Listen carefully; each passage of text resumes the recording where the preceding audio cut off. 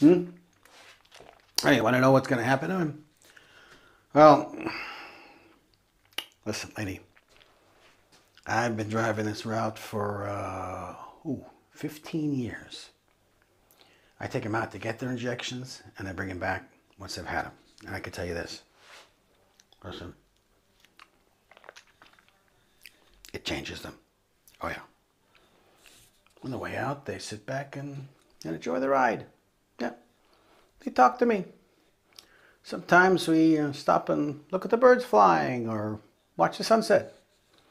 Sometimes we look at the birds flying when there are no birds in the sky and look at the sunsets when it's raining. Hmm? We have a swell time. Oh, yeah. and I get a big tip. No? but afterwards. It's crab, crab, crab. They yell at me to watch the lights, watch the brakes, watch the intersection. And then they scream at me to hurry up. Got no faith in me or my cab. But it's the same driver, same cab, same road. And it's no fun. And I get no tip. Nothing, nada, zero. Zilch.